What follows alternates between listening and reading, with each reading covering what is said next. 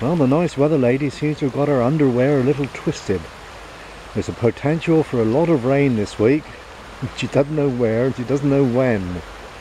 Oh, please let it be falling on the Camel, then we might be doing a bit better.